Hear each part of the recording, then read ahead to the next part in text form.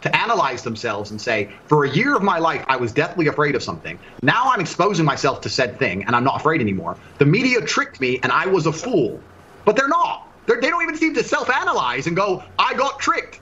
They're just like, oh, okay, next thing. Hey, Andrew, now, like robots. It's it's mind bending. Oh, there's truly. Tucker. Look at that. Look at that big old smirk, man. He's having the time of his life. He's like, you know what? Maybe being gay isn't actually all that degenerate, because this dude's fucking on fire.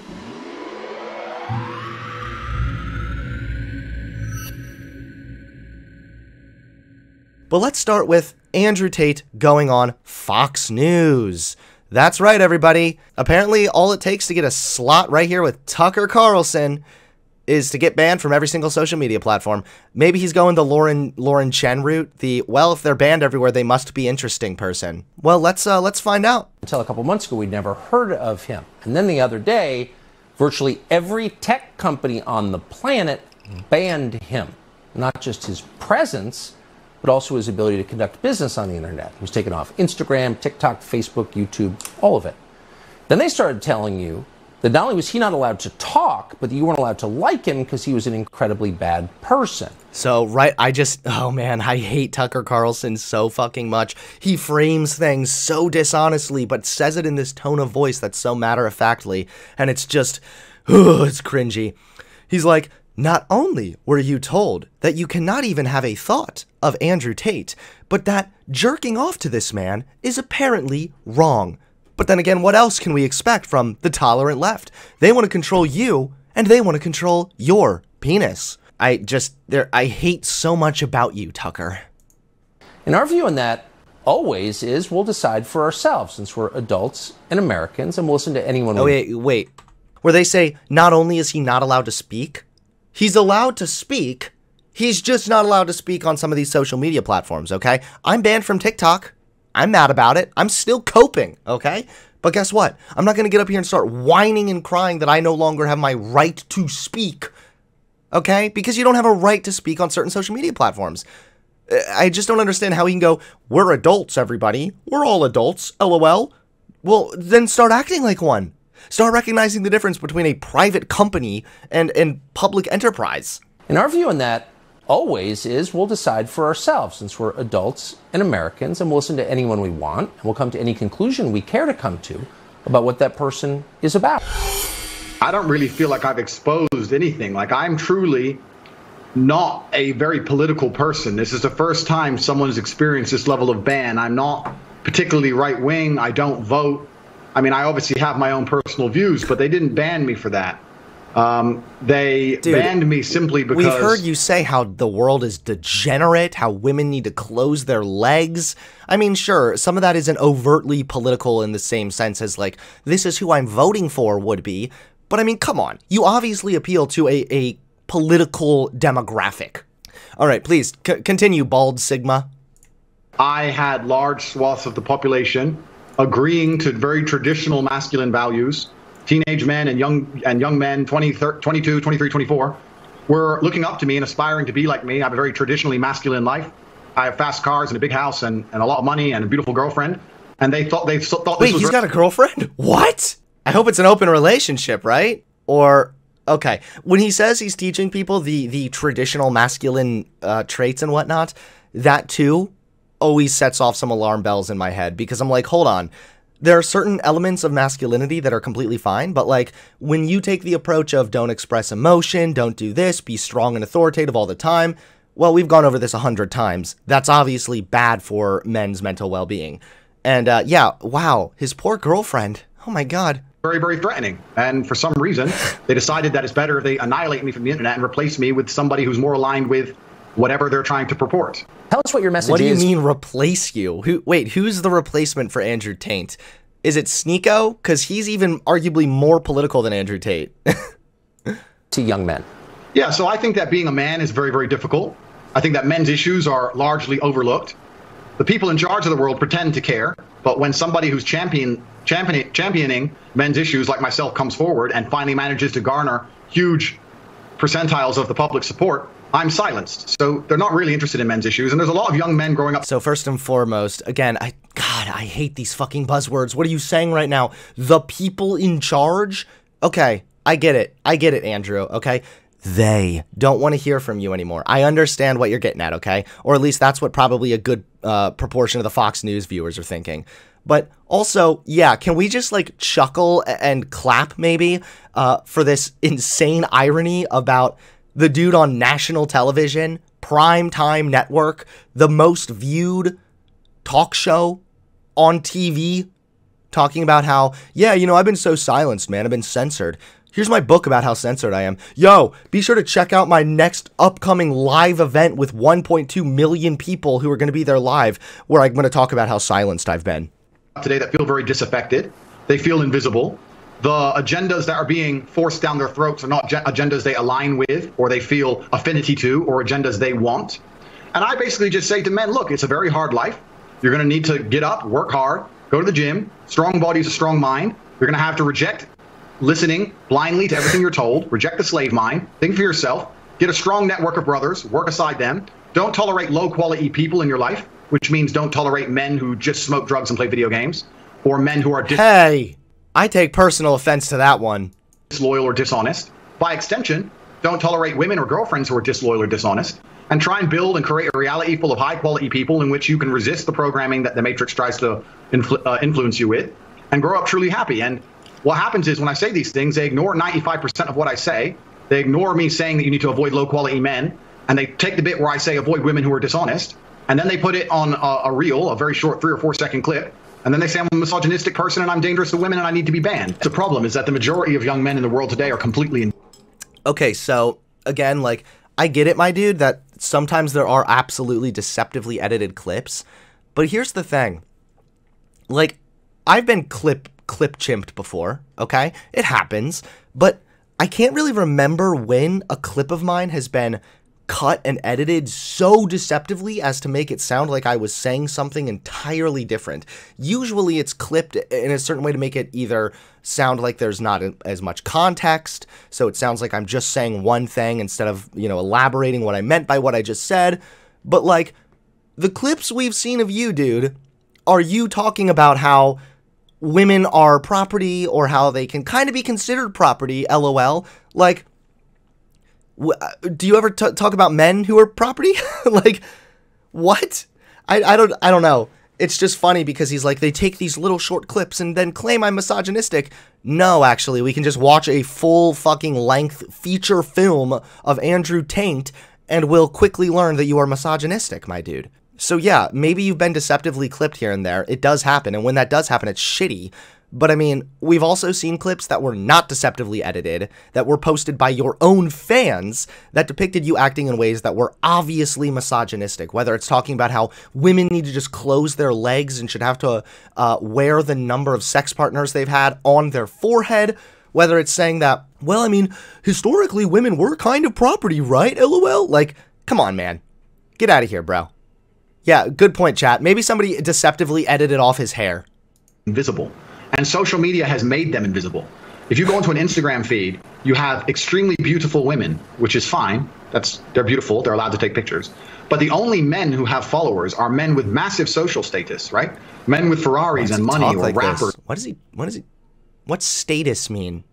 I think the word you're looking for is status or people who have YouTube channels, interesting people. If you're a normal man with a normal job, you don't really exist in the online world. It's very difficult to get followers. Nobody replies to your DMs. You don't really matter. You don't have access to the sexual marketplace. It's very difficult for you to even get any kind of recognition Stop that with you're the even sexual marketplace thing. Oh God, I've thought I've already explained this a million times too about how it's far more comparable to bartering, which makes it a lot more complicated than a a marketplace. Because remember, it's it's not just you getting something in exchange for money, which is how a marketplace is. We're talking about bartering. You're talking about seeing somebody you're interested in, and then you also need her to be interested in you in return. That's a lot more challenging to find a, a fair quote unquote trade in that aspect. So maybe tangentially you can say, like, well, technically still would be like a marketplace. Fine, whatever. But come on, it doesn't fucking work like that. And that's just ridiculous. I really hate that term because it does overall make it make it sound like um, sex and relationships are purely just for for gain almost. And a lot of men feel lost and lonely because of that. And I was championing to a degree their issues by saying to them, look, that is unfair perhaps, but that's the way the game works. You need to become a man of importance. You need to become a man of influence, or you're going to suffer the pain of being invisible forever. Here is how you do it. I wasn't trying to change the rules of the game. I was just telling the men how to win because I came from nothing and I'm completely and utterly self made. And I think the reason a lot of men are so depressed is because they feel invisible. They feel like the life is life is too hard. Women expect me to be strong and smart and funny and interesting with a nice apartment and a. Fa- Why is it always blamed so much on women? Like, it it's true that there are expectations that are placed on men that probably don't do them any good when it comes to the the aspect of dating, but like there's more than that. Before they reach the point where they are interested in dating, they have first been socialized to believe a fuck ton of this bullshit. Whether it's, hey, uh, you shouldn't cry, or you should be more authoritative, or in order to attract a girl, you need to look like you're constantly in charge, never show your emotions they've been socialized a certain way also. So, I mean, like some of the expectations that women have for how men should behave, sure, they can be a little bit harmful and ridiculous, but blaming this on women, the way he's acting like this is mostly a problem within men who are trying to date, not true. It starts way earlier than that fast car and tall and well connected and funny and, and it's just too much for them to handle. And the social pressure on men is absolutely immense and i was championing their issues. And at the same time all these social media platforms pretend to care. As soon as somebody they resonate with stands up and champions their issues they mass blanket ban me which shows they have absolutely no care for the young men of the world today. They think that by banning me i'm just going to no. vanish and the young men are no just no it's that you can you can talk to men about their struggles and how they need help and how there are certain societal aspects that negatively impact men in a unique way, you can do all of that without also shitting so hard on women, acting like women are property, making it sound as if women have sole responsibility when it comes to uh, sexual encounters, making it so that women are all sounding like sluts if they sleep around, but men who sleep around are the baller boss men. Come on, man going to go and start eating the gruel that they're fed on their on their YouTube feed. They don't want to read. They don't want to see transgender people wear makeup. They don't want to see that. They, they want to see a man who has a bunch of money and a nice life and some fast cars and is strong and is confident. They want an action hero, and that's something that large portions of the world still want to be.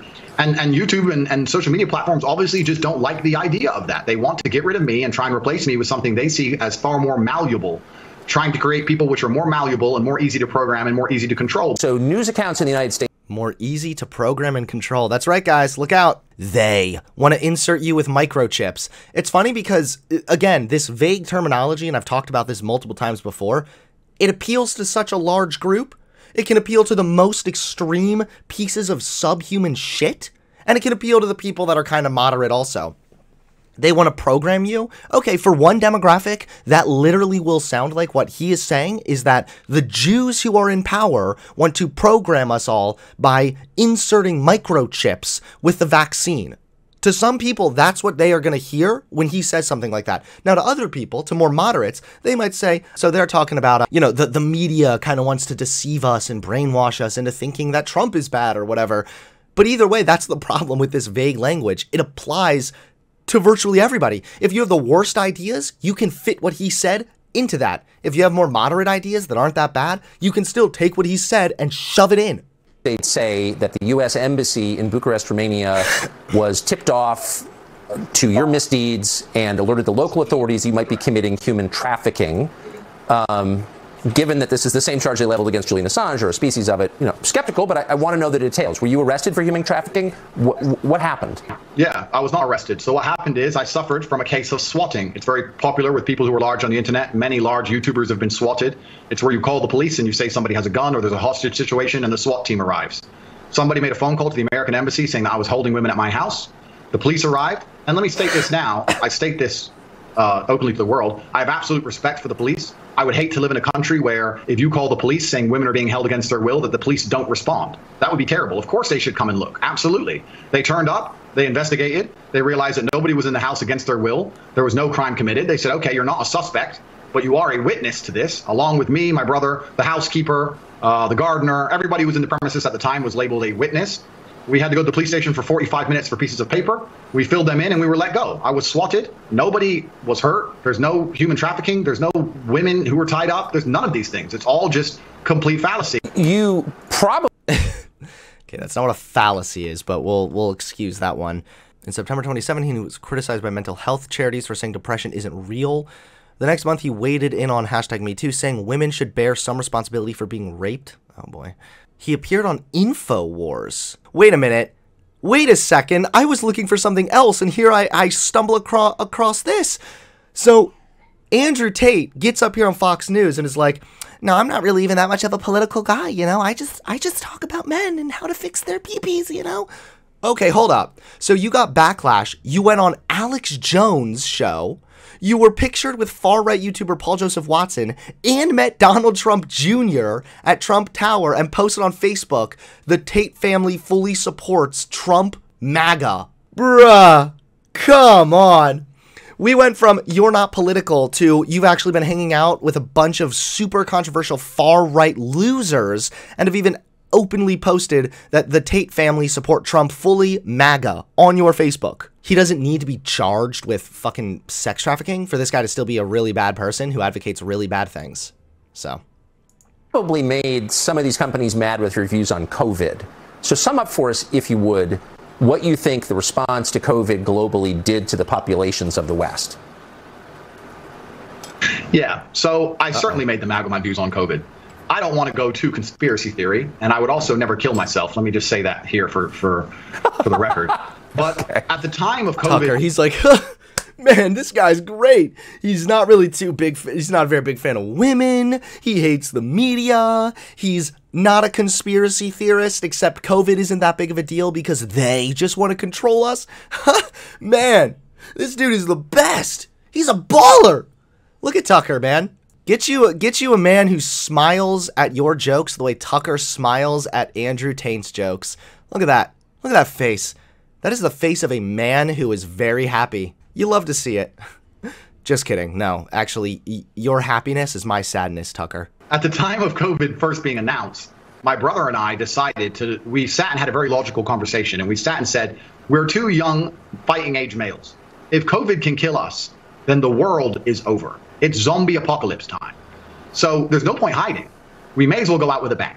So my brother and I flew to Stockholm, Sweden. Wait. I can't. I just can't do it we sat down and we had an incredibly logical conversation about how if this disease actually manages to kill us, then this will be a zombie apocalypse. Okay? Logic, bros. Now, I don't know if many people know this, but Sweden never closed down. Stockholm and Sweden never closed down, never made you wear masks, never mandated the vaccine at the very beginning of COVID, when the rules were strictest, when Florida was still closed, when oh, Miami was still look closed. at him. He is. He's just so. Look at look at Tucker's face. He's just like, yeah. You can see him kind of trying to hold back his smirk. He's like, yes, you're saying everything that I want you to say. Ooh. When Florida was still closed, when Miami was still closed, when the Republican states were still closed, Stockholm, Sweden was wide open with full nightclubs and a party scene like you've never seen. And we lived in Sweden for three solid months with zero restrictions, zero worry or interest in COVID. It was like the world was completely normal. And from there, when we left, obviously. Wah, wah, wah, wah, wah. Frontman behind Sweden's coronavirus strategy regrets the high death toll. Ooh, I hate it when this happens. God, when you try to reference something to support your point and then you look it up and it actually destroys your point. Oh, God. Man, I would just hate to be a conservative. Sweden, which has never imposed a full lockdown, has seen nearly 350,000 cases and more than 7,800 deaths, a lot more than its Scandinavian neighbors. Instead of relying on legal sanctions, Sweden appeals to citizens' sense of responsibility and civic duty and issues only recommendations. There are no sanctions if they are ignored. They never imposed a nationwide lockdown. Bars and restaurants have remained open. Okay, so what Taint here is, is saying is sounds correct. However, earlier this week, schools across the Stockholm region were asked to switch to distance learning. Sweden killed it. I don't know what this guy is talking about. Just Google the stats. Sweden death counts are lower than many European countries. So it's been called a uh, failure. Sweden has had more deaths than the rest of the Nordic countries. Oh, chatter, listen up, okay? Combined. Ooh. Oh no! Sweden has had more deaths than the rest of the Nordic countries combined. This has led to criticism from the country's neighbors, Norway, Denmark, and Finland, that its less strict approach is putting their own measures at risk. Coronavirus deaths in Europe as of August 19, 2022, by country per 100,000 population. So Sweden is right here, okay? They had um 190.58, and as opposed to all of these other areas, including Norway, Finland, Denmark, they did horribly. Now, of course, yeah, did they do as bad as humanly possible? No. There were less deaths in Sweden, for example, than the United Kingdom. If we're going to compare this to the other Nordic and European countries, I mean, here we have Germany, Switzerland, Ireland, uh, Denmark, Finland, Norway, Iceland. Yeah, they didn't do so great, my dude. So thank you for telling me to look up these stats. So now we know that you were wrong. See, COVID was still going on in, in a neighboring country. You go to Germany, and they were having full panic attacks, genuine panic attacks if you didn't have a mask on. And it was just very obvious to me. I was like, I spent the last three months ignoring this, and I'm fine. And now I'm in Germany, surrounded by panic attacks and endless masks. This this doesn't make sense. Huh? And I well, told then why were there more deaths in Sweden than Germany? Uh oh. truth on social media. I said, this is obviously an overreaction. The decimation of your income, the fact you can't go get a doctor's appointment for a genuine ailment or a genuine risk of cancer, for example, the fact that you can't see your loved What? ones in their No, what are you talking about? People are having problems getting treatment for cancer or other ailments because the beds were so fucking full of dumb fucks that wouldn't get vaccinated or take any precautionary measures. What are you talking about? Oh my god, he just makes shit up. days, these things are far more destructive than the common cold. I think that what they're doing is is unfair. I think it's a massive overreaction. And this is based on my personal experience. And I think at the time there was a lot of pushback, but I would like to think now that 99% of the world see I was totally right. You know, it's kind of funny, Tucker. I'll tell you. When It's funny he COVID, says this say, when like Sweden itself is coming out saying that they regret it. They've had huge amounts of deaths. They have more deaths in their area than uh, all the other neighboring countries combined. And we just looked at the statistics per 100,000 and they also had more deaths. So it's funny that he's like, now everybody sees that I'm right. Okay, yeah, I guess if you hide in your echo chamber. how will people struggle with the cognitive dissonance when this is all over? Because COVID is still out there. Nothing's gone away. The thing that we were all hiding from is still right there, out there to get you. But now everyone walks around and they're not scared of it anymore. And I'm like, are people critical enough Sweden has 10% of Germany's population density. Sweden had more deaths than Germany. So you're telling me they have less population density in Sweden, but they had more deaths than they had than Germany. to analyze themselves and say, for a year of my life, I was deathly afraid of something. Now I'm exposing myself to said thing and I'm not afraid anymore. The media tricked me and I was a fool. But they're not. They're, they don't even seem to self analyze and go, I got tricked. They- They're just like, oh, okay, next thing. Hey, Andrew, now. Like robots. It's it's mind bending. Oh, there's Tucker. Look at that. Look at that big old smirk, man. He's having the time of his life. He's like, you know what? Maybe being gay isn't actually all that degenerate because this dude's fucking on fire. COVID, you're one of them, to everybody else. What did you notice about that? It, it seemed like a two tiered response. Yeah, so the story was very simple. I was flying inside of Europe. There's a lot of low-cost air car- uh, air carriers. It's only low cost primarily. There's not much first class, business class, anything like that. And I was flying, and my experience was plagued by endless paperwork, wearing a mask, put the mask over your nose. Every time you eat, you have to put the mask on in between.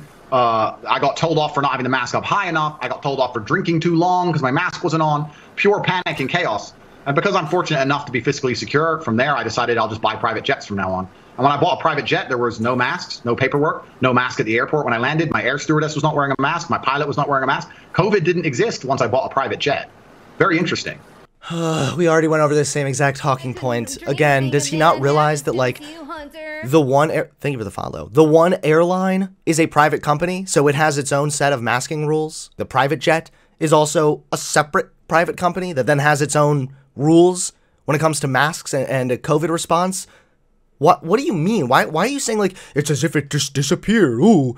Hey, guess what guys? When I was down at the city, everybody was saying to wear my mask, but when I got home to my 4-star hotel and I was able to take my mask off in my own hotel room, well, it was like COVID didn't even exist because I was rich. And a lot of the rules are only the rules for a certain class of people. And once you pass a certain wealth index or a certain level of money, you can do basically whatever you want. And and He's right. If you're rich, rules don't apply. All right, Reddit subculture king, very cute username. Here's the Discord link. And, and COVID really highlighted that to me, and it's truly sad. I mean, it's easy for me to make a joke of it, but when I would fly on a private jet and do whatever I wanted, or go to Sweden and party in nightclubs and do whatever I wanted, and then I'd come to, let's say, Wait, England, you going to Sweden and partying however you wanted had nothing to do with you being rich, other than the fact you were able to play, uh, pay for a flight to Sweden. Other than that, there was no other, there was no reason. that has nothing to do with you being rich. That was the rules, those were the rules for everybody in Sweden, dude. and then see my friend who couldn't go see his dying grandmother because of a COVID restriction. That's truly sad. That's truly criminal. I don't. I, it's really crazy what's happened and how the world's just moved on, and the cognitive dissonance that people uh, don't have enough respect for themselves and for the truth to analyze how they were so easily fooled. Wait. Okay, chat. Yes, having a, an immense amount of wealth uh, gives you an uh, immense amount of power usually, and you are able to sometimes wiggle and weasel your way out of certain issues. Okay, you're right. Yeah, a public defender versus one thousand an hour, one thousand dollars an hour lawyer. Yeah, of course, I know that. Yeah. But this has nothing to do with COVID. Can you sometimes get special privileges and, and treatments if you're wealthy? Uh, yeah, was that happening with COVID to like a large degree? No. This is the same thing I asked last time. You would see a pattern. You would see a, a consistent enough pattern of people that are rich with this level of a net worth not having any problems with COVID. You would see that, but you don't. Instead, you see that COVID was negatively impacting everybody. It, it's really sad to even think about, but maybe that was the beginning of me being disliked by just pointing out my human experiences during the, the pandemic. But I want to tell you something that's that's actually kind of scary about this banning. It all came so hard and so fast that I don't know if they all just follow each other. I don't know if they're all influenced by each other. I don't know if there's someone above them all. I don't know. But when they go to cancel you, ladies and gentlemen, it comes hard and fast. Someone above them all. Ooh. Who could it be? Maybe, I don't know. George Soros. Okay, Andrew, we get it. You like it to come hard and fast, okay? We heard you the first time, buddy.